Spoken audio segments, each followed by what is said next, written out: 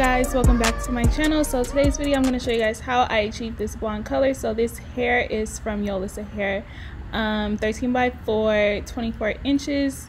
You're going to need the wig a bucket um, some purple shampoo or conditioner and then your colors. I'm using the color charm 8 and 11 um, and then the 9 n 911 and then some 30 volume developer um, and then you'll just need something to mix your colors in. So to start off I'm just gonna go in by putting some warm water in this bucket. Um, and we're going to tone this wig before we color it. So we're just gonna put a little bit of the purple shampoo in and mix it together to turn the water purple. And then you'll just dunk the wig in there submerge it and brush through and just make sure that you know all strands of the wig is getting covered by this purple water. Now this will help um, if you're going for like a pale like pastel type color this will really help with it. I recommend doing this with all your 613 units because when you get it it's super yellow as you see. And then now doing this after dunking it in the purple water you see how much more pale it is and how it take like took out the harsh yellow tones in it. Um, so yeah. And then now we're just gonna go in with the color so the first color i'm doing is this 8n 811 and I'm doing one part color and then two parts um, developer. You don't need a 30 developer. You can get a 20 and be fine. I just had 30 at, how, at my house, so I just used it. And then I'm just going to focus this 8N 811 really on the top part of the wig, mainly on the frontal. I didn't want to buy too many colors because this could get really pricey.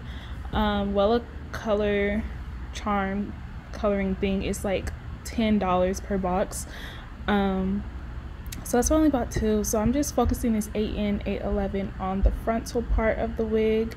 Um, this is the darkest color out of the two. And yeah i just focused on the top part and just putting it all over. And then whatever is left after me putting it on the frontal I'll just put it on the rest of the hair. But I didn't really have enough to cover the whole wig with this. So again I just mainly focus this color on the top and then you'll see it'll start to uh, change colors to purple. And then now I'm mixing the 9N 911 I'm putting that everywhere else. I didn't get to put the first color on. Um, I know in my previous ash blonde video I used like seven different colors. Um, this time I decided to try just two so I end up just dunking the wig in that little cup full of the color just making sure it's saturated. Um, I'm just experimenting also. I wasn't sure how this was going to turn out but after I coated all the hair in it I left it on for 20 minutes and then I will rinse it out and wash it with purple shampoo and conditioner again. Um, and just make sure all that color is out and then this is how it looks you can see it's a big difference than what it looked like before.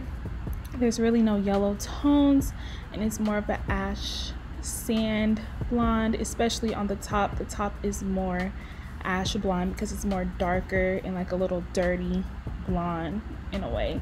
Um, and this is how it looks after air dried. This hair was really thick um, especially at the roots. So this was like a day plus after like this is actually air drying for like a day and a half and you can clearly see those roots are still damp so I had to go in and blow dry it.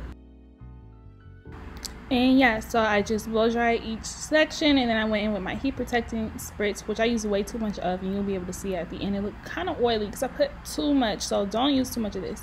But yeah I just use this I love this spray um, and then I just straighten the wig um, all throughout and you'll be able to see how it looks after so you can clearly tell the difference with the color. So on the back it's more of just like a regular blonde um, and then on the top it's more like an ash blonde. So those are the two different differences between the two colors I use because I use the 8 and 11 on the top and then I use the 9N 911 on the bottom. Um, so yeah and I just realized that the 9N 911 color that I use the actual color box I used was meant for gray hair and I did not know that but whatever it still worked out I think the end result was really pretty here's how it looks after it all being straightened out um, the hair was still really pretty shiny soft and everything now this hair here's the cons I have about the hair. The hair did shed. It wasn't like excessive shedding, but it wasn't minimal shedding, you know. So it was shedding.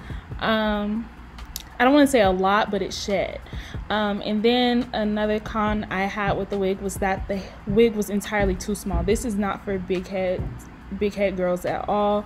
Um, this wig was so small on my head. I couldn't even get the other side of the frontal to fit me, so I just had to make it work um, so that's why it might look a little bulky on me. That's just because the wig did not fit my head all the way. I could not get it over my entire head. Um, so yeah, that was just the bad part about it. Here's how it looks uh, like the next day. You can see how oily it looks because I put way too much of the product on. But yeah here's the end result. Go check this out on my instagram. And if you guys enjoyed this video give it a big thumbs up comment subscribe and i'll catch you guys in my next video. Bye guys